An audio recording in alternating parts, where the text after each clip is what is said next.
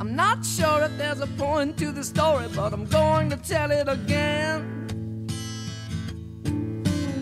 So many other people try to tell the tale, not one of them knows the end.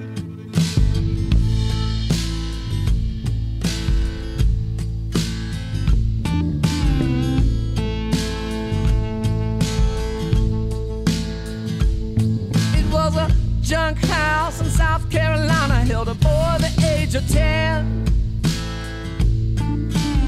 Along with his older brother Billy and their mother and her boyfriend, who was a triple loser with some blue tattoos that were given to him when he was young.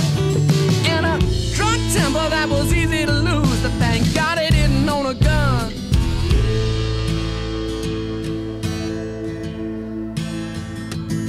Well, Billy woke up in the back of his truck, took a minute to open his eyes. He took a peep into the back of the house and found himself a big surprise. He didn't see his brother, but there was his mother with a red-headed head in her hands. While the boyfriend had his gloves wrapped around an old priest trying to choke the man.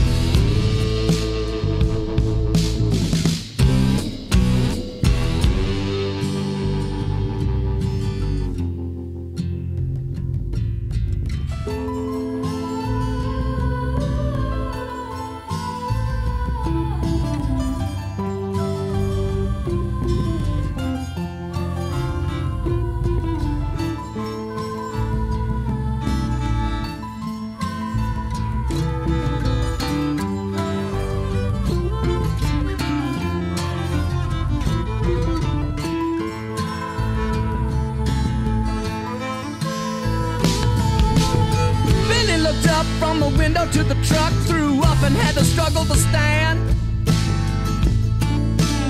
He saw that redneck bastard with the hammer turn the priest into a shell of a man.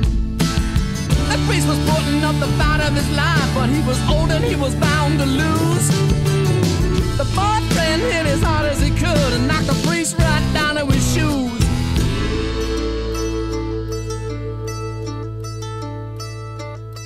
Well, now Billy knew but never actually met the preacher lying there in the room. He heard himself say, That must be my daddy. Then he knew what he was gonna do. Billy got up enough courage to get up and grab the first blunt thing he could find. It was a cold glass bottle of milk that got delivered